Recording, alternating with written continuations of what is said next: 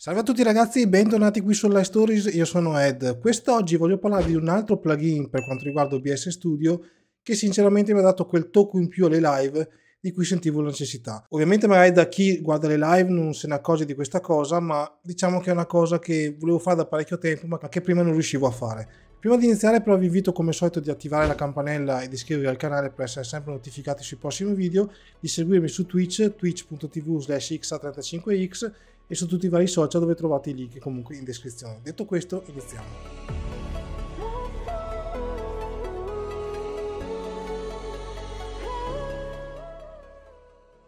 Una delle prime cose che mi hanno detto di fare quando ho cominciato a fare live è, ovviamente dopo avermi guardato tanti tutorial per imparare a settare OBS Studio eccetera, di suddividere le fonti audio per quanto riguarda la live, quindi avere una fonte per Discord, una fonte audio per il gioco, una fonte audio per Spotify per esempio, una fonte audio che ne so, per uh, il browser, se dobbiamo fare mai una reaction, qualche video su YouTube, eccetera. L'unico problema, e questo è il motivo principale per cui non l'ho fatto fino adesso, è che per fare appunto questa suddivisione delle fonti audio bisognava installare un programma esterno che si chiamava, o meglio che si chiama, esiste ancora, VoiceMeter Banana.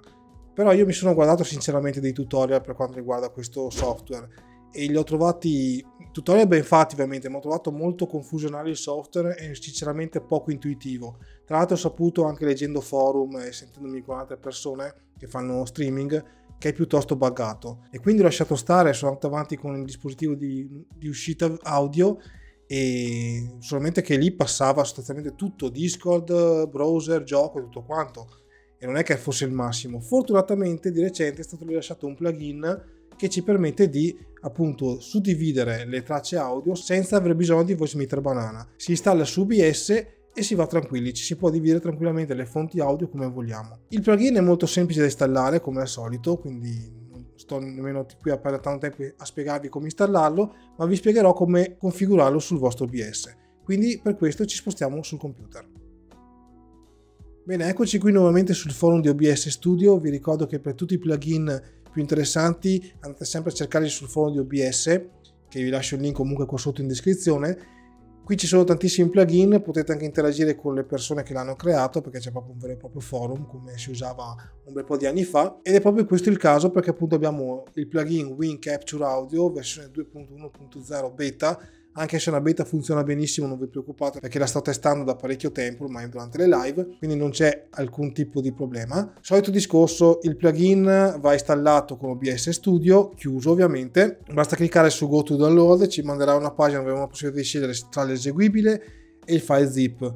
Fatto l'installazione del plugin, apriamo il nostro OBS, schermata ovviamente neutra dove non c'è nessun tipo di scena appunto per farvi vedere come funziona il plugin non troverete nessun tipo di pannello, ma avrete un'opzione in più per quanto riguarda le fonti. Infatti, noi se clicchiamo sul più dove sono le fonti, appunto, abbiamo Application Audio Output Capture. Questo appunto funziona sostanzialmente come il cattura gioco che abbiamo sempre utilizzato per far vedere i nostri gameplay durante le live, soltanto che invece di catturare il video catturerà soltanto esclusivamente l'audio di quell'applicazione.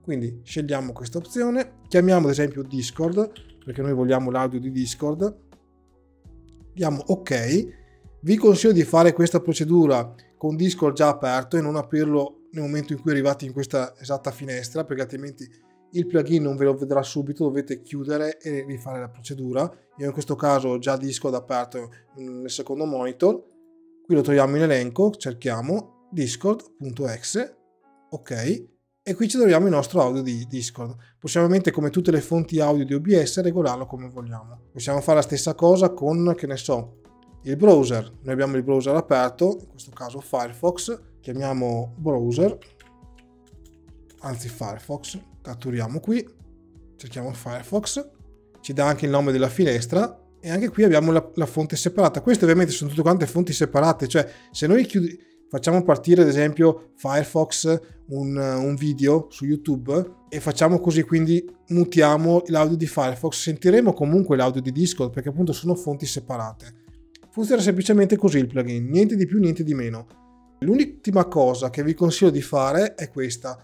Come avete visto qui c'è scena 2 che abbiamo le fonti dove Firefox e Discord. Questa vi consiglio di chiamarla ad esempio, rinomina, la chiamiamo audio, per esempio, perché volendo si possono importare all'interno delle fonti, quindi all'interno di questa finestra, delle scene. In questo caso la scena si chiama audio, noi se facciamo ad esempio aggiungiamo una scena 2, scena 1 anche perché il 2 non c'è, perfetto. Come vediamo qui su scena 1, spostiamo in alto se me la fa spostare, perfetto, non abbiamo niente ma qua ad esempio se questa è una scena dove c'è il nostro gameplay o altro possiamo tranquillamente all'interno delle fonti aggiungere una scena. Basta fare aggiungi scena. Aggiungi una scena già esistente selezioniamo audio e qui automaticamente abbiamo già il nostro mixer con tutte le fonti che audio separate che vogliamo. Ovviamente se vogliamo aggiungerne alcuna non andiamo direttamente qua ma andiamo da qui direttamente e aggiungiamo altro io vi consiglio tra l'altro di fare delle, una, una, scena, diciamo, in più per quanto riguarda l'audio. Io l'ho fatto ad esempio nelle mie live, audio, per esempio, games. Così so che in questa scena, all'interno delle, del, di questa scena, le fonti sono solo esclusivamente quelle del, di audio di gioco, perché ovviamente me ne sono preparate alcune, perché ovviamente ho vari giochi che porto in live, così ogni volta so tranquillamente che le scene e l'audio posso regolare direttamente da qua senza diventare matto, avere tutte quante una fila di, di, di, di fonti audio qui. Tutto qua, questo è quello che vi consiglio io, poi ovviamente potete lasciare tranquillamente tutto dentro una stessa scena, magari vi basta semplicemente creare una fonte eh, chiamata games per esempio e qui ogni volta gli cambiate l'eseguibile. Certo, non è una cosa comodissima, però potete fare anche questo se non volete farvi tante fonti audio che magari occupano memoria. Vedete un po' voi, questi sono dei consigli che vi do io. Ecco, questo è semplicemente come funziona questo plugin che secondo me è molto comodo, molto utile e soprattutto meno complicato da configurare rispetto a VoiceMeter Banana.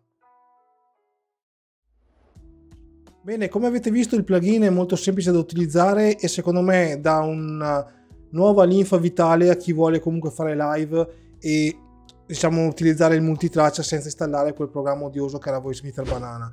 Questo è un plugin secondo me che rivoluziona completamente il modo di fare streaming perché con dei semplici click e con un metodo molto intelligente che abbiamo visto sostanzialmente fare cattura gioco, però cattura soltanto l'audio e non il video, ci permette appunto di avere la multitraccia in modo semplice, pulito e veloce. Detto questo, fatemi sapere nei commenti se avete bisogno di qualsiasi tipo di aiuto, sono ben felice di rispondervi e noi ci becchiamo a un prossimo video. Ciao ragazzi!